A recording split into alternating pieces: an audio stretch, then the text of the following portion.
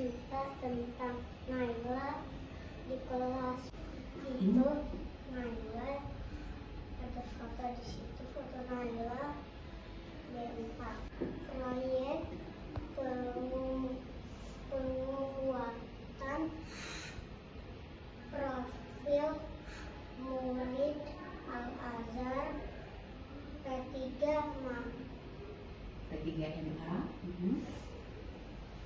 Aksi nyata peduli sesama.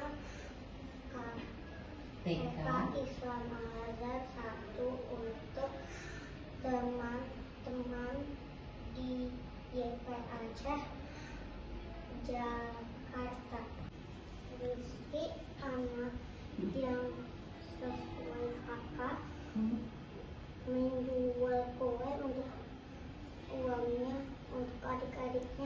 sekolah. Tidak Mama dan papa? mama papa.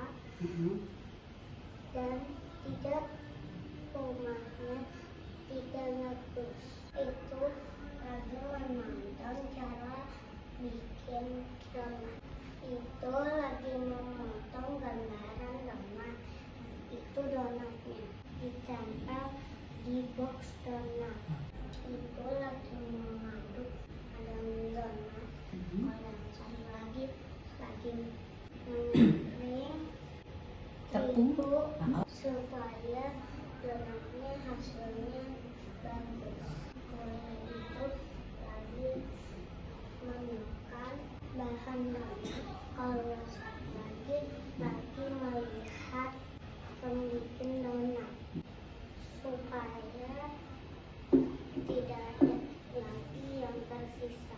Nah, supaya eh, bahan-bahan yang ada di dalam baskom itu semua menyatu ya, nggak ada yang terpisah-pisah ya. Bentuk donatnya bulat, di tengahnya bolong ya. Kok bisa bolong? Soalnya pakai sedotan di bolong yang tidak ada bolong di bolong itu Oh. itu lagi persiapkan tomat dan cabai untuk bahan bakso kalau itu lagi menaruh daging ke dalam belongan Terus? daging terus es batu tepung bawang goreng dan bawang putih garam ini lagi menaruh bahan bakso di dalam tempat bakso pakai sarung tangan Mhm. pakai terus diambil bahannya ditekan nanti keluar terus diambil pakai sendok baru ditaruh Mm, Baru dicemplungin ya ke panci ya. Di panci itu sudah ada air panas panas. Kenapa harus panas? soalnya nanti bakso tidak jadi Oh, kalau tidak panas pasti jadi nggak matang nggak jadi ya. Oke, next.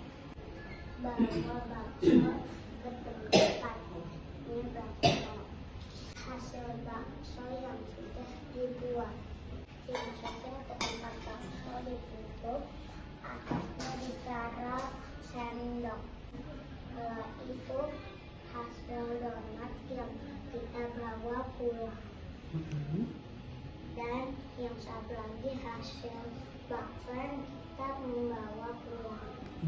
Kalau itu ada di YP Aceh Bernyanyi sama mendengar omongan-omongan Bukhari sama bukunya YP Aceh. Iya, kepala sekolah ya. Itu tidak melengkapi, tapi satunya melengkapi terus ada yang yang melengkapi dua tapi tidak bisa jalan ada yang tidak bisa memakai